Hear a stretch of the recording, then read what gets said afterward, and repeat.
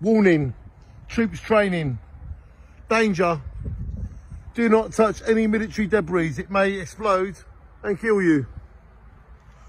Risk of fire. Lol. So they stick that on. Risk of fire. Come on Scott, let's, let's go and explore.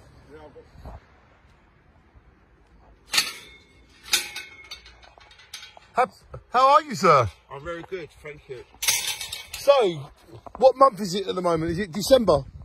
No, end of October. Oh, it's the end of October or December, December. or November. Me and Scott are walking through a forest because me and Scott like walking through a forest, don't we, Scott? We do. And uh, we don't know what's happening with the world, coronavirus and all this lockdown and all this crazy stuff. So we're only in tier one at the moment, aren't we? Tier one? Tier one. Yeah, it's tier one. T1. It's around October, November, the year 2020. And we're walking through this forest looking for fairy tales. And, Scott, Yep. fairy tales. Oh, yeah, yeah. Woo, woo, look.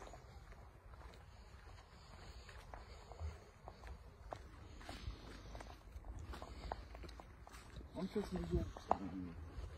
There's everything here. There's deers.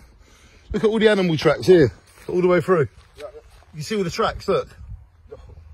We are basically in a place where animals live. And humans come here to walk their dogs and stuff.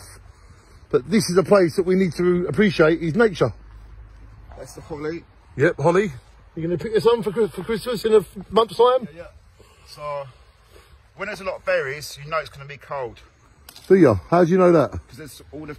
It's getting ready. Ladies and gentlemen, when there's a lot of berries on the holly, you know it's getting cold. It's for the food for the animals. Show us that. Can I have a demonstration? You hold up. So can you repeat that again for me? So, when this is all full, Yep. it's getting ready for, like, it's night, it's night, it's getting colder.